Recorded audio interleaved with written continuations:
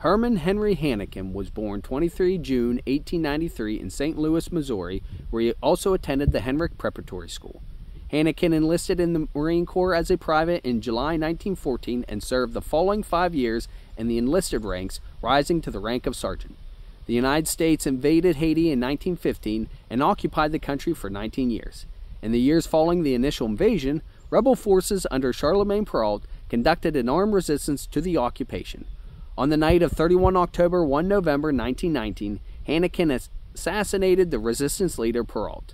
Hanneken was disguised as Cacos and was led into the rebels' camp in northern Haiti by Jean Baptiste Conze, one of Péralte's officers who betrayed the Haitian leader.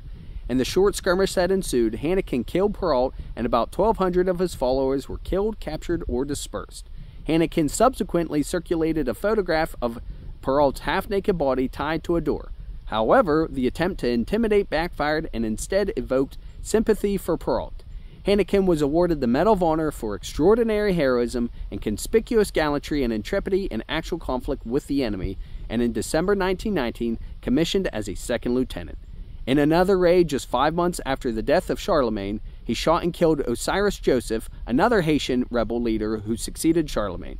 He was awarded the Navy Cross for his act. Upon appointment as second lieutenant, he was assigned to train the Haitian police force, and he was ordered to return to the U.S. in April 1920. And following his arrival at the Marine Barracks, Quantico, Virginia, he was assigned to following a special course at the Marine Corps schools.